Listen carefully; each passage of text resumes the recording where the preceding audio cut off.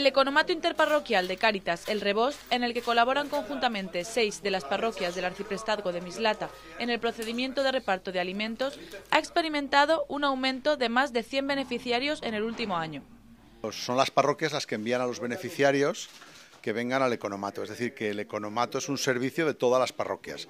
Entonces, una parroquia atiende a una familia y dispone si tiene que venir al economato o no en función de sus ingresos, de la necesidad que tiene y cuánta ayuda le pueden dar. En función de los miembros de la familia o en función de sus necesidades, pueden hacer un gasto a los precios del economato. Juan Miguel Soria, director de este economato, nos explica el funcionamiento del servicio mediante el cual las familias con menos recursos pueden adquirir alimentos de primera necesidad a menos de la mitad del precio medio habitual. La diferencia entre el coste a precio de economato y el coste real del producto es lo que pagan las parroquias. Ellos pagan una pequeña parte, un, aproximadamente los productos salen entre 30 y un 40%. Eso es alimentos que o bien se compran en el supermercado o bien donaciones como la que hizo la Asociación Vecinal de Mislata hace unos días. El economato ahora tiene casi 300 beneficiarios, que suponen casi mil personas entre adultos y niños de toda Mislata y parte de Valencia y pueden venir dos veces al mes.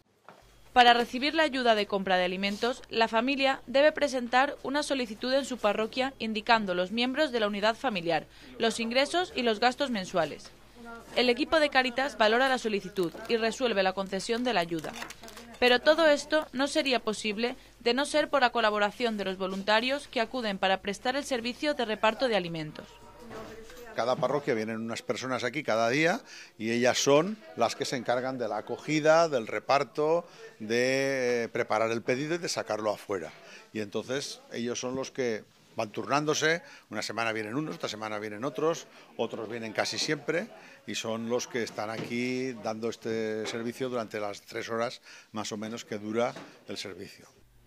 Los productos disponibles son adquiridos en mayoristas o supermercados entre marcas blancas de reconocida calidad. También se reciben donativos en productos de particulares y algunas empresas o asociaciones. Pero los socios bienhechores de Cáritas y los donativos son la única fuente de financiación de los gastos de este economato.